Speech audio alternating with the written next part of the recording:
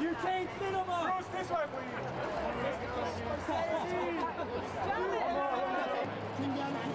Right above you. Right above you. Right above you. George, what your No, it's all the same. It's just different. It's just different. It's a different gig, and uh, you know, this is this this asked something else of me, and I, I I did that. I mean, I'll you know, I'll do anything. I'll do it. I mean, I'll act for food. So I mean, any job will do. New Bond script, Phoebe Waller-Bridge, one of the writers. Tell me a little bit about that. She's a an amazing writer. We were very fortunate that she had some time to come and help us out.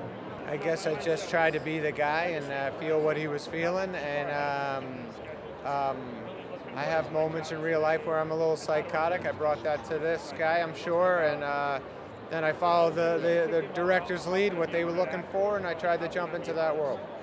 So tell me. I, I wasn't successful in reaching um, Liza through our mutual friend.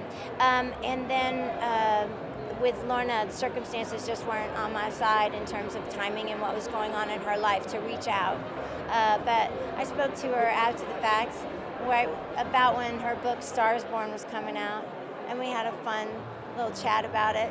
Um, she's a lovely person and uh, very spunky and talented, and yeah.